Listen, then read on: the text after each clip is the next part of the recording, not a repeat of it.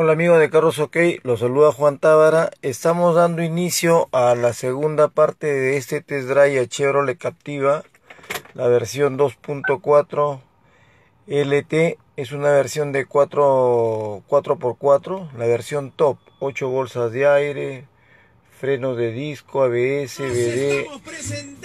para el Perú y el mundo entero. Tiene, viene con el sistema de control de estabilidad, el sistema de, descenso de pendientes, aro de 19 pulgadas.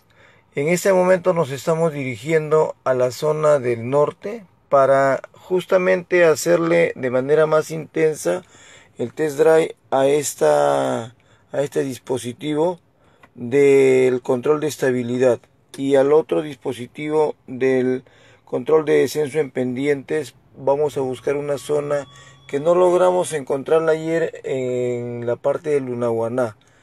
Eh, vamos a poder, eh, vamos a llevarla a una condición más extrema en cuanto a velocidad se refiere, porque ayer solamente la hemos acelerado hasta 130 kilómetros por galón.